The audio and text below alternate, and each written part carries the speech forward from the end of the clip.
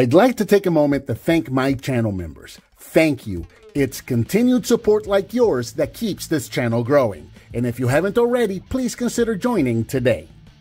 Hello and welcome to That's Just Prime. And today we're going to be taking a look at the Jinbao Deformation DF04 Justice Leader Optimum Warrior. This is another one of those figures with a bunch of names, but I love this toy.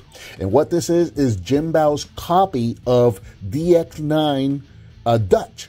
Uh, pretty much the same figure, uh, but for a lot less money. So back when when Dutch came out, when I got the Sky Pillar, a lot of people asked me if I was going to get Dutch, and and I didn't because for the same price, I thought that Sky Pillar was a much better figure, and I still do. Uh, but I found this guy, the the Jinbao version. I got this guy from AliExpress for about twenty dollars, and I said, you know what, for twenty dollars, I got to check this figure out. And I'm really glad I did because this is a really, really fun figure. Um, so let's start out with the box. I, I want to get the box out of the way. Get the figure out of here. Because this is the absolute biggest box I have ever gotten uh, for a figure of this scale. Now, keep in mind that this is a Legends class figure, and this box is absolutely. This box is bigger than some of the Masterpiece class figures I've been getting. So, yeah, it's absolutely enormous. But here you go. Justice Leader Deformation, new version, DF4, uh, DF04, Power, Protect Power, Reborn. Okay. Uh, very cool artwork. Absolutely love this artwork right here of Optimus Prime. Protect Power Deformation on the bottom there. Uh, some warnings on the along the bottom. A product shot on this side, a product shot on that side. Or actually, that's artwork on that side. And then on the back, you got product shots of the figure both in robot mode, holding his weapon, and in vehicle mode, Justice Leader changed to truck mode. Not a whole lot to the box. Very nice looking box. I love the pictures, love the artwork, love all of that. But uh, it's just, uh, it's kind of ridiculous that the box is that big for a figure of, of this scale. But here is the figure itself, and it comes with a bunch of accessories. And as you can see again, it is a Legends class Optimus Prime. I have already put stickers on mine. You guys know how I am. Uh, but this is actually a very fun little figure. So he does come with a sheet of instructions, very clear uh, and easy to follow. It's just on one side, nothing uh, really on the back there. Um, but it is a very simple figure to transform and work with. He also comes with this flight stand, which is in four pieces. So you have a base, you have two arm pieces here, and then you have the little tip right here. And this is little piece right here. It's got a little peg that's going to plug into the back of the figure. So I thought that was pretty neat. In in every single piece that came with this, there's a big tray in that box, and every piece has its own slot in the tray. It's just very neatly displayed, but it made for a gigantic box. We're going to set this aside until we need it. We're not going to need that until robot mode. And here we have, what are we going to call this guy? Optimum Warrior? Or, do we want to call him Justice Leader? Uh, I'll probably go back and forth between those two and actually Optimus Prime, so we'll see. But here, here he is in truck mode, and now the truck mode is a bit of a mess. Um, this is this is really the main thing that kind of um, kind of kept me away from this figure originally was the truck mode. The truck mode is is admittedly a bit of a mess, but it, it, yeah, it's not that bad. And the figure is actually so much fun to play with, and the robot mode is so cool that you really of actually get over that real quick. But the truck mode is approximately four and a half inches long, about two and a half inches tall. The trailer is about six and a half inches long, seven if you put the jetpack. As you can see, you got the jetpack mounted to the front of the trailer right there. So that makes it about seven inches long. Um, a combined length of about um, eight and a half inches.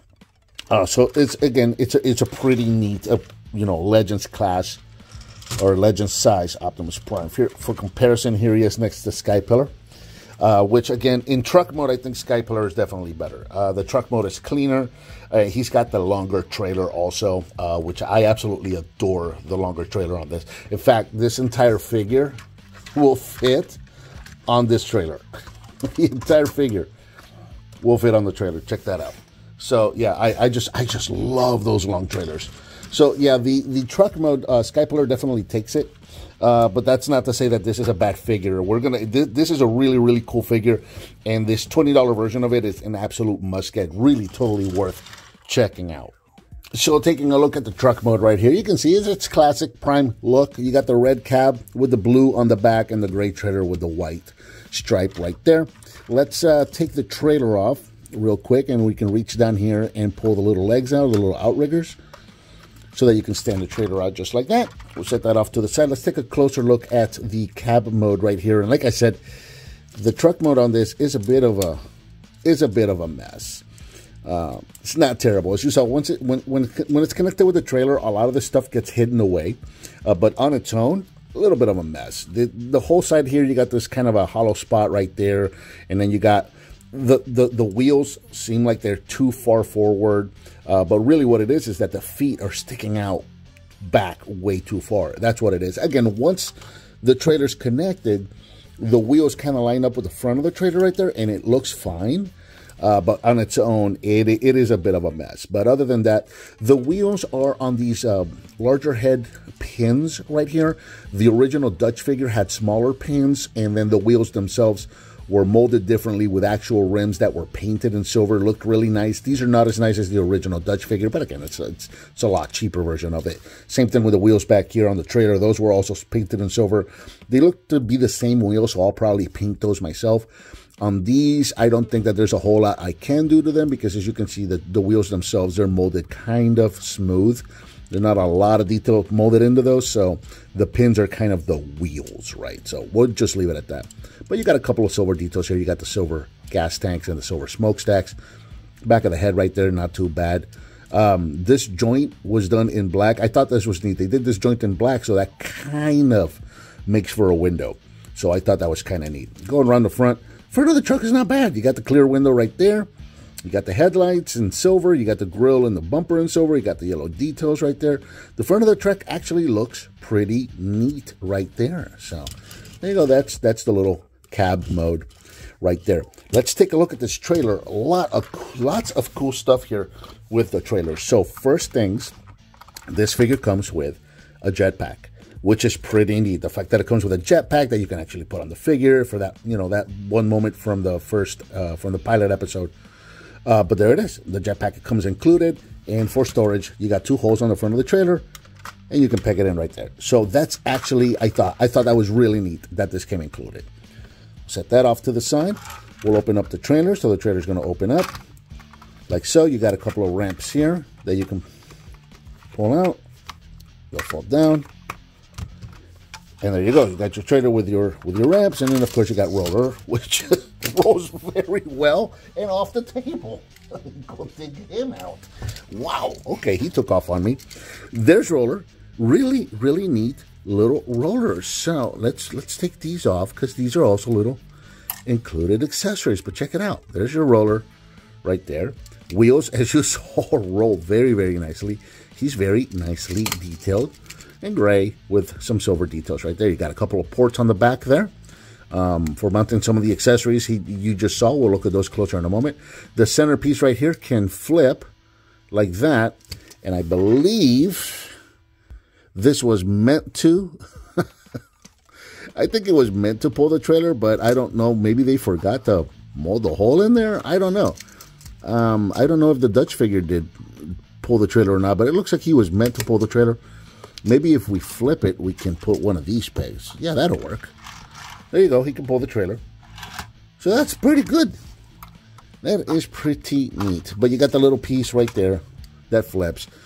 You have his little gas nozzle or welder. You guys can argue about what that is down in the comments.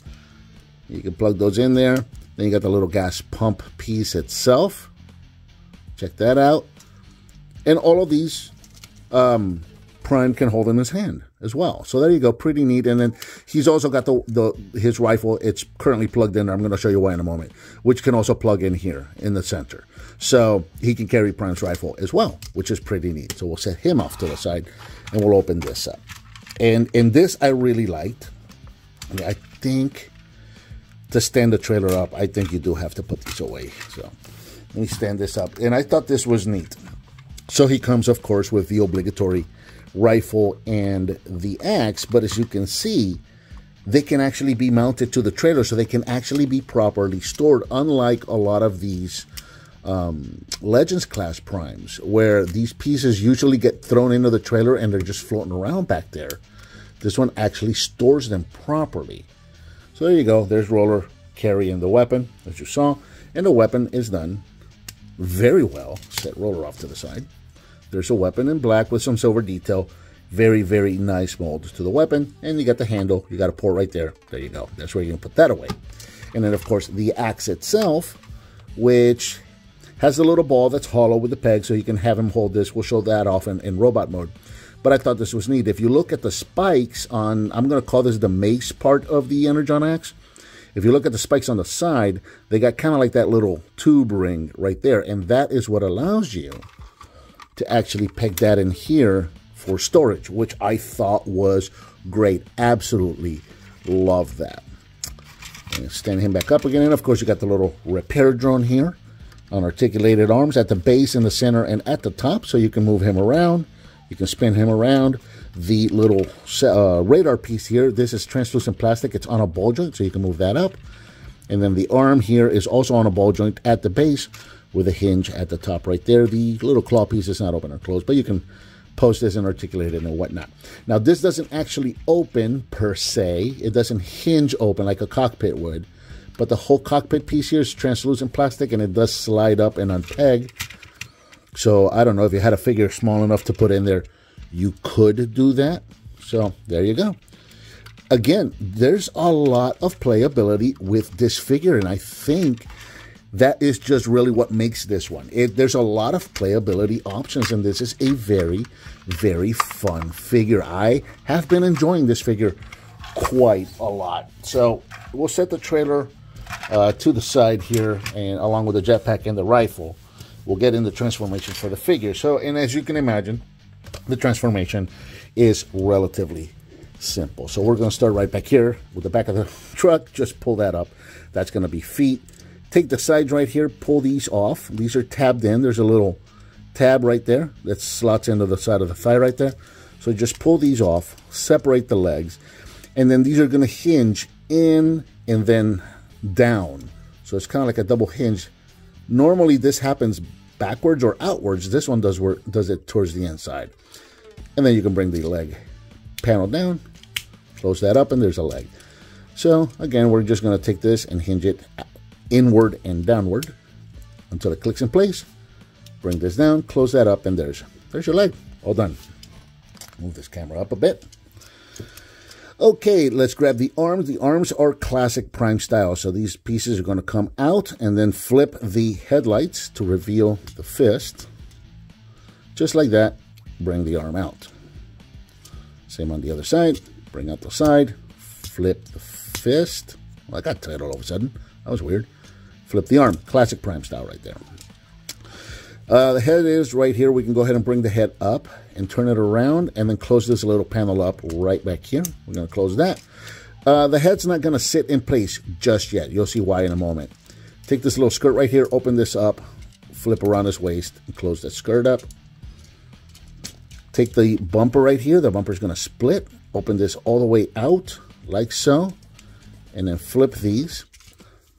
Now, the reason that the head doesn't uh, quite flip in just yet. This is really neat, and I, I thought this was really neat. I really like this. So uh, I, I, like it when primes find a a really original way uh, or ingenious way of doing this. So you got the flat windows like you would on the truck. You notice the angle right here. So this is actually going to lean forward and flip around and then come right back to form a more robot style chest. So you got the more square windows and the actual windows point outwards, come to a point in the center of the chest to make it a little more of a cartoon accurate chest. I love that, and I don't consider that cheating because technically it's still the same windows, right? it's still the windows, the whole thing just flipped over. I like that. I think that's that's really ingenious. So when you bring this back, because that's flat, the head can actually come down all the way. There you go. So let's move the arms up and out of the way. And these panels, um, yeah, I already had these flipped, so these are just going to come straight up to form his sides of his torso right there.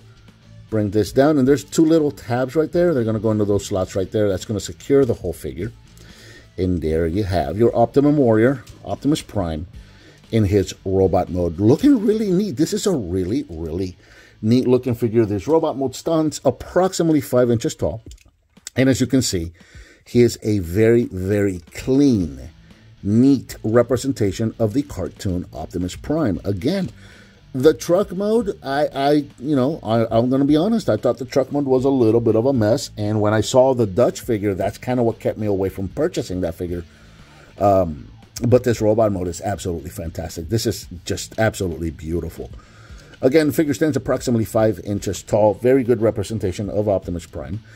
Love that head sculpt right there. Check that out. And he looks fantastic with the with the insignia. The chest opens up. Check this out. So the chest opens up. He does have a little matrix in there that can come out. It's upside down for some reason, but there it is. that can come out and then that can go right back in there. So that's that's pretty neat. Articulation wise, the head is on a ball joint. Uh, it can't do a whole lot of up and down, which is kind of a shame considering he came with a flight stand. He can't really go up and down unless you do that. so that's kind of a shame. But you know, you got a little bit of inquisitive tilting inside the side. Shoulders are on joints, so you got in and out, forward and backwards all day long. Rotation at the bicep. You have a double bend at the elbow. There's a double hinge right there. Check that out. You do have a little bit of a hollow right there on the forearm where the fist came out of. For a figure this size, i am willing to uh, forgive that. But also, check this out. Even though this is on a hinge that comes in and out like this, you still get rotation at the wrist. That is impressive. That is really, really neat. Uh, you got a bit of rotation at the waist. This was due to transformation, but you do have to move or work with the skirt and kind of move it out of the way. Legs are on ball joints. Far, gonna go forward that far, back only that far, in and out rotation at the thigh, bend at the knee, and of course you got all of the ankle totes. There you go. Look at that. I wonder if you can. Ah, uh, you can. Can you imagine if you could cross his arms, and then you can just do one of these? that would be so. That is kind of neat. The fact that I could do that, just improv that right there. That was pretty neat. Okay, let's uh let's check out his backpack, his jetpack, jetpack. Um, actually no, let's save that for last. Let's give him his weapon. Let's do a couple of comparisons first. So let's give oh, let's give him his weapon. Let's also show off his Energon axe. So we'll take that out of the trailer. And the Energon axe, again, he can just hold that right there on his fist, just like that. The rest of the little ball piece there is going to cover the rest of his fist. So that looks pretty neat. That looks really, really neat. Again, for that one moment in the first episode, right? But it can be done, which is neat. Again, it's a really fun play feature. The fact that it can do that. This is a fun figure. And uh, I don't think that was supposed to come out that way. there you go. All right. So there he is with his weapon. And uh, let's do a couple of comparisons real quick. So here he is next to Sky Pillar, which I still think was a fantastic figure. So there are the two of them together. And I have to say, I like this truck mode better, but I'm kind of liking his robot mode, this guy's robot mode better. Um, just the arms are cleaner. He looks a little more better proportion, more cartoon accurate. Um, this is a really cool figure. I'm right, really liking that a lot. Either way, both of these figures, whichever one of these you get, you can't go wrong with either. They're they're both fantastic figures. A um, couple of other comparisons. Here he is with uh, David, New Age David. Just you know, we're looking at Legends class figures, so you can see what the two of them look like together. Completely different class figures here, uh, in terms of like these are these are uh, more detailed, more involved transformation, and more.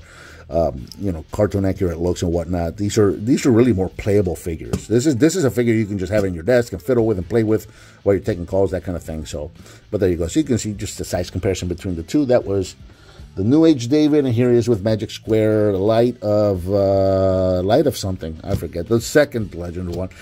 All of Magic Square's figures are all light of something: light of justice, light of freedom, light of peace, light of my coffee that I haven't had this morning. I don't know.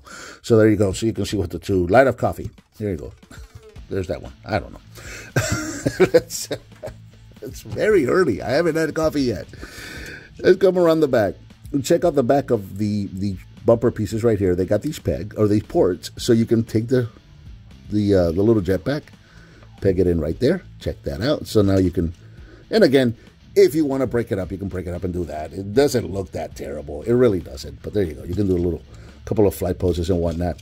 And then the figure's got this little port right back here on its back. So that is where you can take this piece and plug that in, just like that. So if you wanted to make some flight poses, you could, let's see if I can, if I can do something here. Point his toes out and